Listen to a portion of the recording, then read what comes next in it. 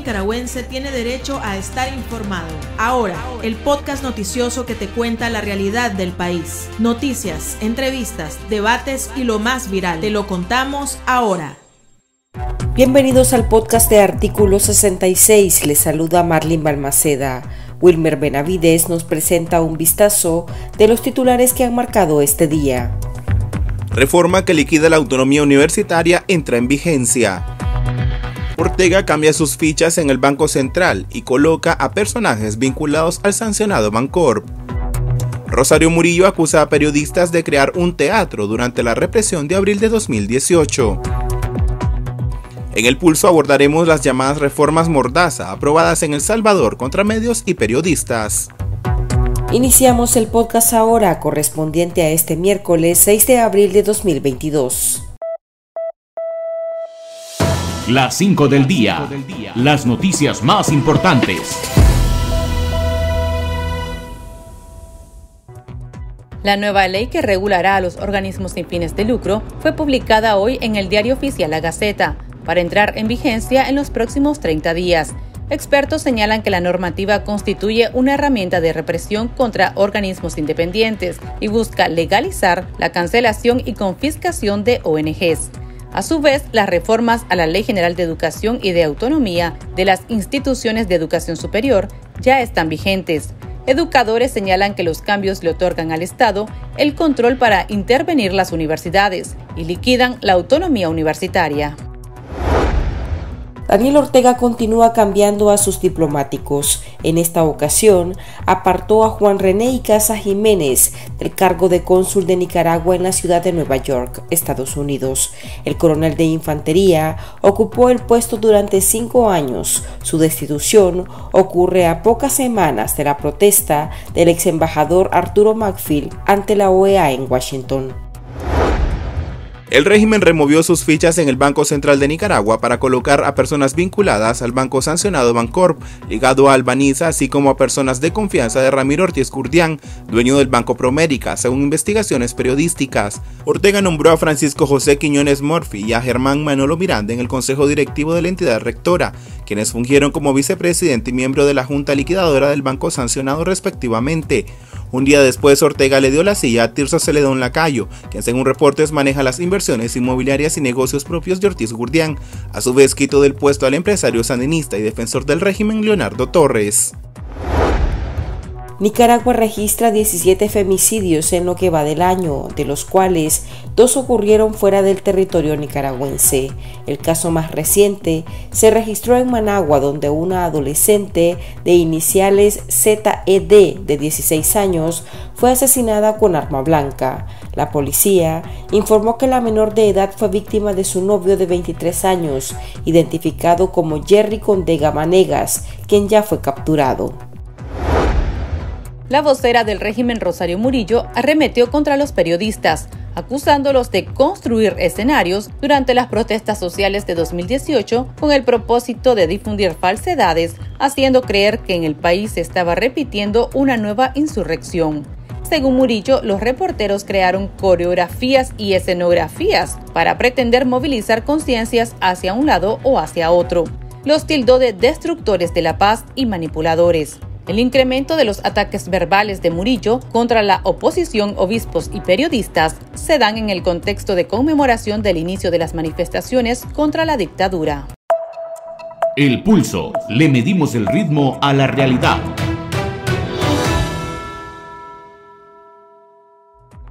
El Salvador aprobó castigar con prisión a medios y periodistas que informen sobre el accionar de las pandillas en ese país, advirtieron representantes del gremio periodístico salvadoreño. Se trata de iniciativas del presidente Nayib Bukele que fueron aprobadas sin estudio ni discusión parlamentaria en medio de la guerra contra las maras, indican medios internacionales.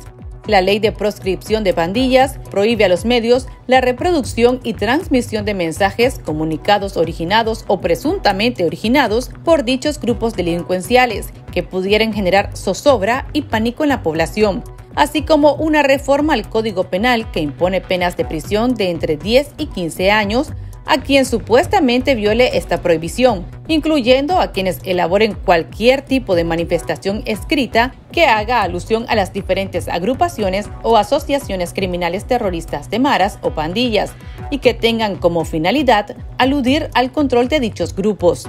La Organización de Periodistas y Comunicadores Independientes de Nicaragua, PESIN, se mostró preocupada por la seguridad de los colegas. Escuchemos a la periodista nicaragüense Abigail Hernández en declaraciones a artículo 66. Nosotros desde periodistas y comunicadores independientes de Nicaragua recibimos con preocupación esta noticia. Para nosotros como gremio periodístico es alarmante. Nos preocupa la situación de seguridad de nuestros colegas periodistas en El Salvador. De hecho que ya hemos nos hemos comunicado eh, con algunos de ellos. Hay preocupación también en el vecino país nosotros hacemos un llamado a la comunidad internacional a poner eh, mente y atención en lo que está pasando en la región centroamericana referido a la libertad de prensa y expresión en la región. Para nosotros esto representa un peligro son prácticas que se están volviendo repetitivas. Nuestro mayor temor es que se vuelvan habituales en distintos países de la región y que el periodismo se convierta en un blanco de persecución con el objetivo de callar voces y que los poderes del Estado y los poderes empresariales y religiosos quieran callar voces críticas desde el periodismo para evitar tener una fiscalización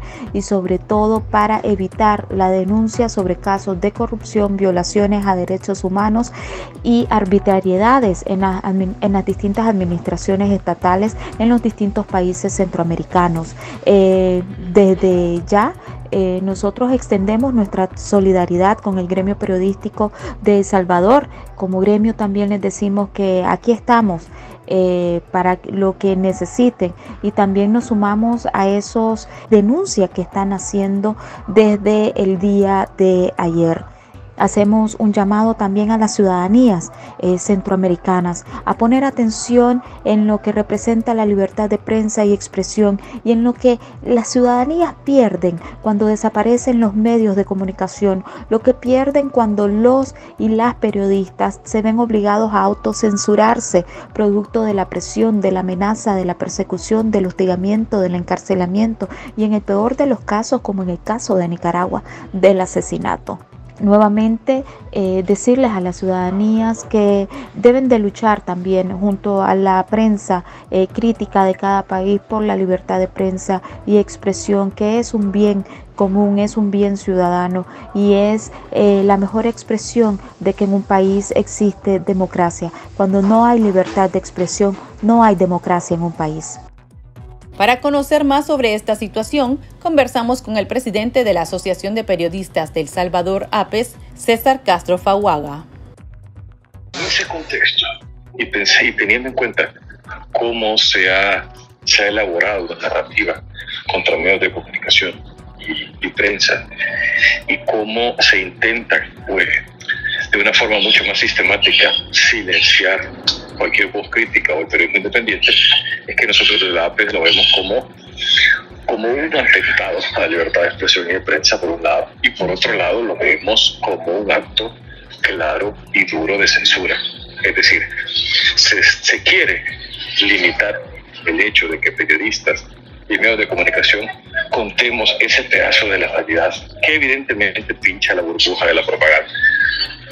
No hablar de las plantillas no hará que estas desaparezcan. Y esa es una realidad muy grande, pero que efectivamente daña la intención de este gobierno de querernos hacer creer que tiene control del territorio, algo que no es cierto. Entonces, por eso nosotros estamos advirtiendo esta posibilidad, que estas reformas lo que hacen en la práctica es abrir la posibilidad de detenciones arbitrarias contra periodistas en El Salvador. Esto puede ser contra cualquier medio de comunicación, periodista, pero, pero también cualquier persona que a través de medios de comunicación, siendo periodista o no, o a través de las tecnologías de la información, como dice la reforma, haga referencia a, o hable sobre las pandillas. Esto es muy amplio y por eso es tan coercitivo y por eso es que nosotros advertimos de que el riesgo que hay eh, con esta reforma. algo que ustedes mencionaban es que los gobiernos anteriores, incluyendo estos, pactaron con pandillas. ¿Por qué el gobierno apunta contra los periodistas en este fenómeno? También se podría pensar de que es para que no se no se revelen más investigaciones periodísticas que relacionen al gobierno a ciertos funcionarios con los pandilleros. Sí, yo creo que hay mucho de eso. Es decir, gracias al periodismo, El Salvador y el mundo se han dado cuenta de, que las administraciones pasadas y las presentes negociaron con las pandillas. Han sido gobiernos anteriores como este igualmente miserables negociando con criminales. y, y, yo creo que lo que está de fondo es eso, es, es tratar de que los periodistas dejemos esa realidad, eh, dejemos de cortarla pero es que ha sido una cosa muy importante. Es decir, no solo nos hemos dado cuenta de pactos con las pandillas, sino que gracias al periodismo hemos podido entender mucho mejor este fenómeno. Uno no puede combatir un fenómeno si no lo entiende, si no lo comprende. Yo creo que, por ejemplo, investigaciones periodísticas en el pasado dieron cuenta de la ineficacia de los planes únicamente represivos para combatir a las pandillas no estoy diciendo que no haya que tener una parte represiva, pero obviamente al ser un problema de muchas aristas, si solo combatís parte represiva, no lo vas a lograr solucionar. Mucha gente piensa que matando a todos los pandilleros, y eso es algo que tristemente refleja la sociedad salvadoreña, que es una sociedad que intenta solucionar todo con violencia. Mucha gente cree que matándolos a todos se va a acabar este problema. Y no es así, porque las causas que permiten la existencia de las pandillas en este país son económicas, son sociales, es desigualdad, cosa que no se acaba matando a una persona. Por lo cual, gracias a investigaciones hemos podido dar cuenta de que el fuego no se acaba con gasolina, como se nos pretende hacer creer. Y este, este esfuerzo que se está haciendo ahora, de, nuevo, mano dura contra las pandillas, lo hemos visto en las administraciones pasadas, en las administraciones Sánchez Serén, Mauricio Funes, Antonio Saca, Francisco Flores. Tenemos décadas de fracasos con esto. Y lo que hemos aprendido es que ese no es el camino. Y otra cosa que también hemos aprendido, que la negociación con este grupo de criminales tampoco lo es. Porque cuando se rompen esas negociaciones, vemos puntos eh, críticos de asesinatos de miles de, de cientos de personas, como nos pasó estos días lo que vino antes del estado de, excepción. El gobierno le tiene miedo a este tipo de cosas porque hemos revelado que no son diferentes a quienes precedieron. Por ejemplo, los periodistas que cubren la fuente judicial o la fuente policial o que cubren específicamente el fenómeno de las pandillas continuarán haciendo su ejercicio periodístico a pesar de esta reforma a la que le han denominado ustedes mordazas. Vamos a intentar, intentaremos seguir haciendo nuestro trabajo. Obviamente que hay que tomar eh, todas las precauciones posibles porque de nada nos sirven periodistas presos. Eso lo queremos evitar a toda costa, sin que esto implique una autocensura o una libertad de trabajo. Hay que ser muy cuidadosos, tenemos que ser creativos a la hora de informar. Una de las cosas importantes en esto es mantenerse unidos eh, probablemente tengamos que eh, renunciar a las exclusivas si publicaciones de este tipo, por ejemplo, tienen más fortaleza si estamos los medios unidos dándolas o si incluso tenemos alianzas con medios internacionales, por ejemplo. Lo que no podemos permitir es que desde la Asamblea Legislativa nos quieran decir qué es periodismo o cómo se hace el periodismo o, o que nos quieran decir a quién podemos entrevistar y a quién no. O sea, en la calidad del periodismo no se puede decidir desde el poder. Y eso lo tengo clarísimo. Y ojalá que la gente lo pudiera claro también. Continuamos la entrevista después de escuchar la opinión de nuestros lectores, a quienes les consultamos si están de acuerdo o no con imponer sanciones a periodistas que hagan alusión a las maras y si consideran que el actuar de las autoridades de El Salvador es similar al de Ortega contra la prensa independiente. Escuchemos sus puntos de vista. El chat. Abrimos los micrófonos a nuestros oyentes. En Nicaragua un periodista no puede criticar nada contra del gobierno ni un funcionario público. Aquí en El Salvador uno puede criticar, un periodista puede criticar, puede hablar. Lo que sí es con la pandilla, que sean realistas y que digan la realidad. Aquí en El Salvador, a media cuadra una cuadra, venía el, pandillero, se acercaba y te pegaba dos balazos y ya está, ya quedabas ahí, llegaba la policía, levantaban el cuerpo y, nada más, y murió y murió y punto. Ya, eh, lo metían nada más, un asunto más de la pandilla. Ahora ya no se ve eso tan seguido.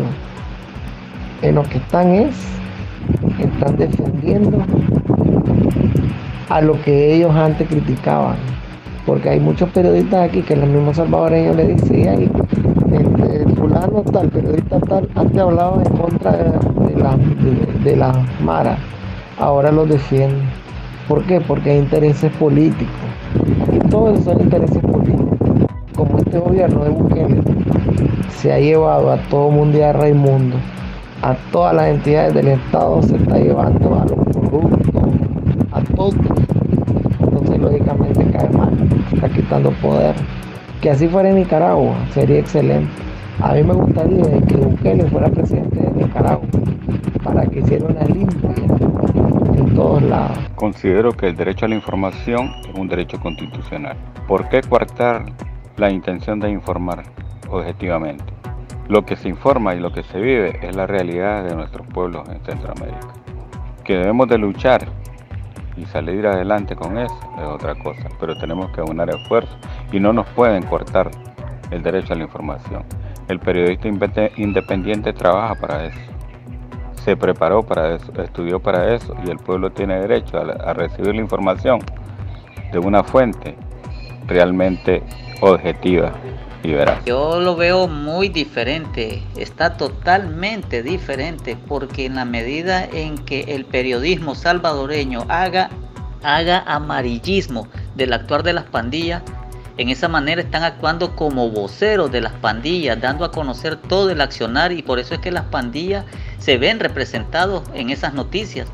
Pero si dejan pasar desapercibidas esas noticias, ellos se verán como ignorados, aislados y el accionar del gobierno de El Salvador está luchando contra esas pandillas que son criminales. En Nicaragua es muy diferente. El gobierno está sacando a los criminales de la cárcel para darle espacio en las cárceles y meter a ciudadanos que protestan por libertades. Así que son dos contextos muy diferentes. Yo no estaría de acuerdo porque realmente la libertad de expresión, la libertad de prensa es irrestricta. Entonces él lo que no quiere es que se sepa que las maras le están ganando la guerra. Entonces él tiene que preocuparse para eso. Así que no le veo razón que reprima a, los periodistas. No veo razón que reprima a las maras. Ese es el trabajo que tiene que hacer él. No, hombre, este, este es el próximo dictador de El Salvador. Porque ya desde, ya desde ahorita está, está amenazando a, los, a los periodistas con cárcel. Entonces este tipo parece que va por el mismo camino de Daniel Ortega, por el salvadoreño, ¿verdad? Menos que en realidad están sacando noticias falsas, va a castigar y no saquen la, noticia verdadera, como este Moclin. Este Moclin, los medios de él sacan las noticias falsas y los medios de comunicación como ustedes sacan la, todo para la luz no, tiene distinción con ningún color político lo que está pasando y no, no, ocultan nada pues.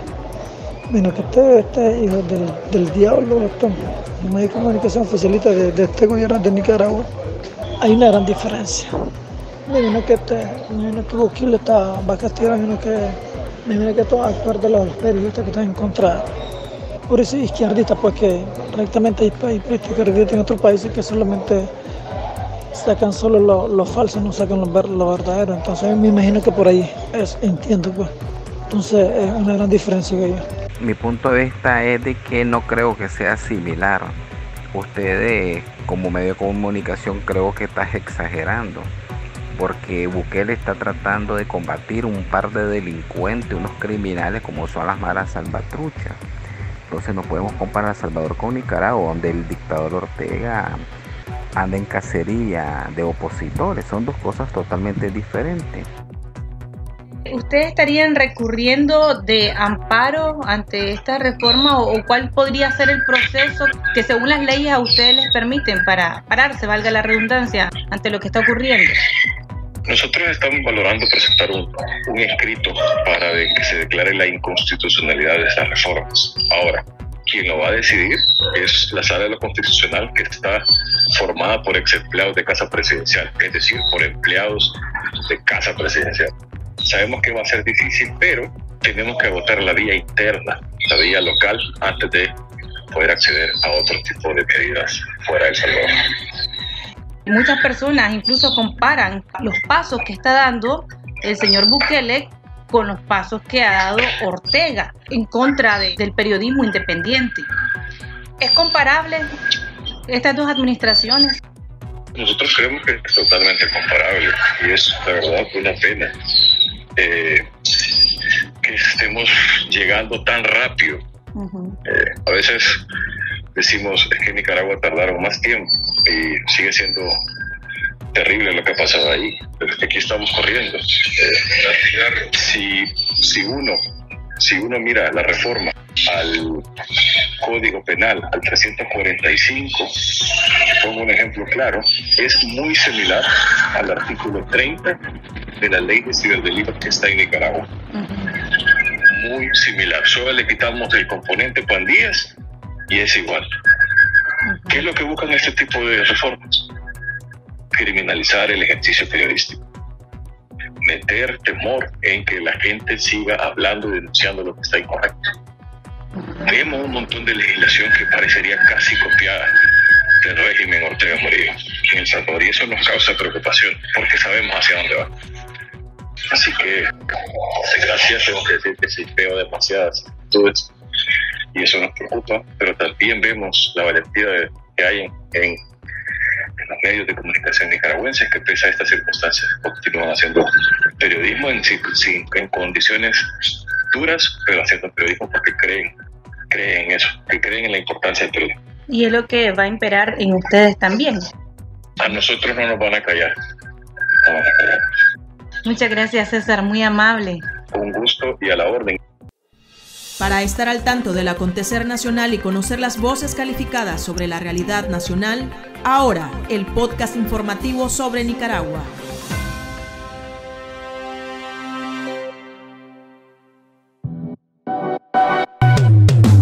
Tendencias, la viralidad de las redes sociales.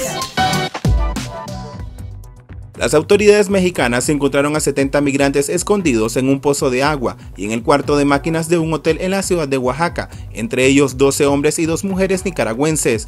Durante una revisión migratoria, agentes del Instituto Nacional de Migración encontraron decenas de maletas y mochilas con ropas, pero sin la presencia de los propietarios, por lo que revisaron todo el inmueble y ubicaron a 55 cubanos, 14 nicaragüenses, un venezolano y el presunto traficante de personas. Miles de migrantes de Nicaragua y otros países de América ingresan a territorio mexicano de manera irregular con el objetivo de llegar a Estados Unidos. Aquí termina el episodio de ahora de Artículo 66.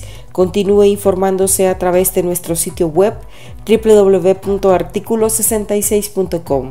Síganos en nuestras redes sociales. Nos encuentra en Facebook, Twitter e Instagram. Y suscríbase a nuestro canal de YouTube. Hasta la próxima. La información veraz y de primera mano está ahora. No te perdás el podcast noticioso que te cuenta la realidad del país. Compartí y pasa la voz.